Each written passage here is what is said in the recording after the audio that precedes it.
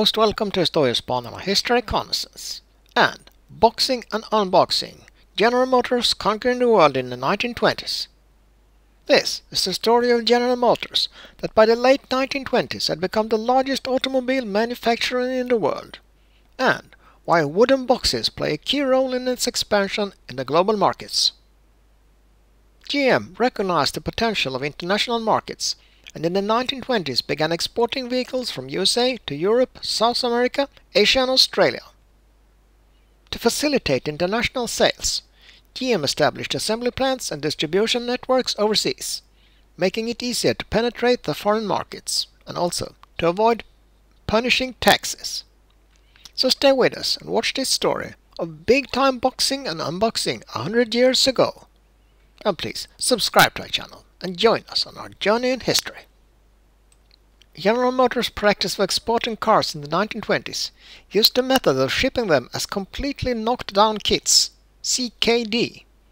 This involved a complex and strategic process of disassembly, packaging and transportation. Vehicles were first manufactured in the United States or Canada. They were fully assembled and tested to ensure they met quality standards. Once approved, cars were partially disassembled to create CKD kits. This involved removing wheels, bumpers, doors, engines and other components to break the car down into easily transportable parts. GM implemented standardized parts and modular components to streamline the disassembly process.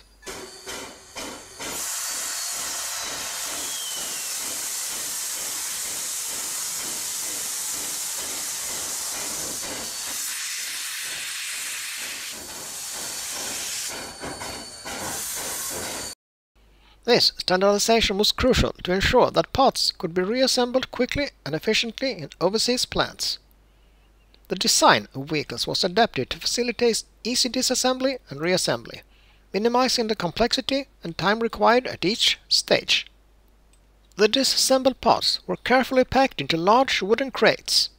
Each crate was designed to hold specific parts in a way that minimized space and protected the components from damage during transit. The crates were robust, often reinforced to handle long-distance shipping and the rigors of loading and unloading. GM coordinated shipping schedules and routes to ensure timely delivery to assembly plants in various countries. The crates were typically shipped via ocean freight to major ports near GM's overseas assembly plants. Upon arrival at their destinations, the crates had to clear customs. The CKD approach often allow GM to benefit from lower import duties as disassembled parts were taxed differently from fully assembled vehicles.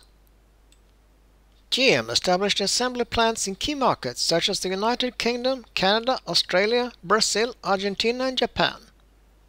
These plants were strategically located to serve regional markets and take advantage of local labor and resources. In some countries, GM partnered with local companies to facilitate the assembly process.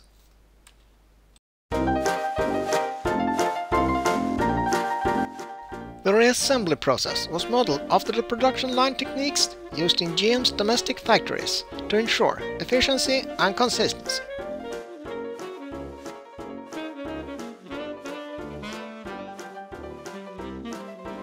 The assembly manual specified safety guidelines such as lifting techniques and protective gear. Tools required were torque wrenches, alignment tools and assembly jigs. A parts list was provided for chassis frame engine and electrical components, body panel and interior fittings.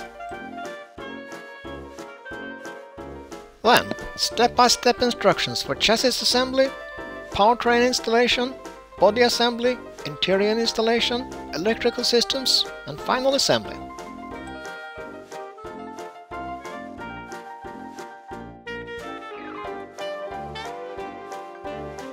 Diagrams and illustrations for chassis engine mounting and wiring harness, and quality control guidelines were also included. And market-specific adjustments, such as right-hand drive and emission equipment were added.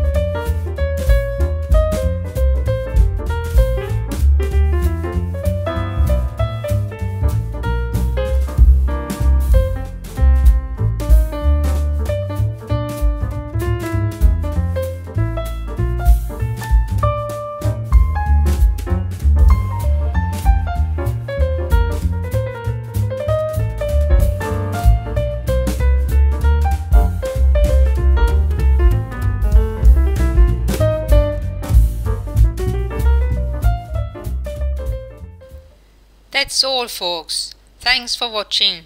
Please like and subscribe.